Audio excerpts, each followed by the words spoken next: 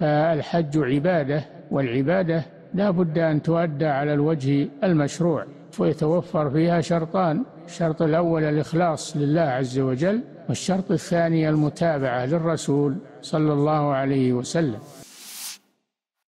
يتعين على من يريد الحج أن يعرف أحكام الحج ويتعلمها ويتفقه فيها ليؤدي حجه على الوجه المشروع. الموافق لسنة الرسول صلى الله عليه وسلم حيث يقول عليه الصلاة والسلام خذوا عني مناسككم أي تعلموا مني كيف تحجون وكيف تعتمرون لأنه القدوة لقد كان لكم في رسول الله أسوة حسنة. وهكذا المسلم في كل عبادة يجب عليه أن يقتدي بالرسول صلى الله عليه وسلم. فكما قال خذوا عني مناسككم قال صلوا كما رأيتموني أصلي. والله جل وعلا قال لقد كان لكم في رسول الله أسوة حسنة لمن كان يرجو الله واليوم الآخر. وهذا يستدعي ممن يريد الحج أن يتفقه فيه بأن يقرأ صفة الحج وأحكامه من الكتب المؤلفة في ذلك فمنها مختصرات ومنها مطولات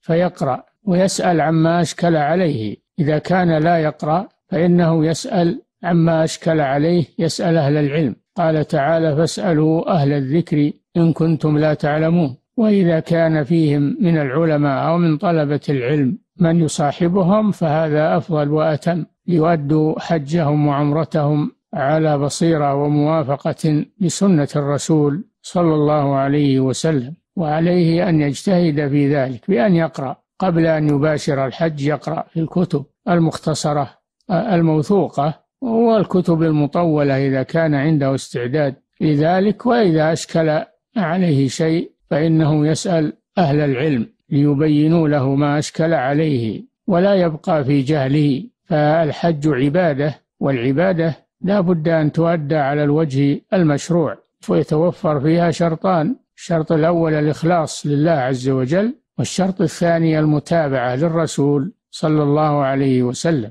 ولن تتمكن من متابعة الرسول صلى الله عليه وسلم إلا إذا تعلمت وقرأت وسألت أهل العلم حتى تكون على بصيرة في مناسك حجك وعمرتك وتؤديها على الوجه المشروع مخلصا لله في ذلك. هذا هو السبيل الصحيح من يريد الحج أو العمرة.